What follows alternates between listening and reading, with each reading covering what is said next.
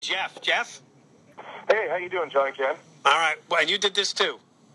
I did this too. However, I did it blindly. My um, I was a failed uh, musician in Los Angeles, or struggling, as they like to say. And my mom bought tickets for my wife and I 20 years ago to go see this guy. I had no idea I was going to be walking on coals.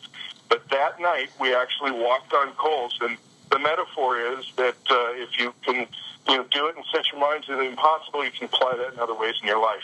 I think the key is never going back, not buying the tape, not signing up for another seminar, but taking the experience and using it. Yeah. How is Uh. I went from I went from musician to owning a, a special effects company in Los Angeles. Oh, what? Oh, special effects. And and you wouldn't have done this without going to one of these seminars. I don't know if I would have done this going to a seminar or not. I know that. I mean, you. uh, I think uh, wasn't it that you were just sick of being a failed musician and you wanted to be successful for all the obvious reasons? Isn't it that internal desire you had? Absolutely, and I believe the motivation came from within, but it was the extraordinary experience of doing this that really kicked the engine into high gear and uh, uh, pushed me to make these very difficult moves in my life. I mean, it wasn't easy, but I had this experience upon which to draw, and it made it better. All right. Thanks for calling.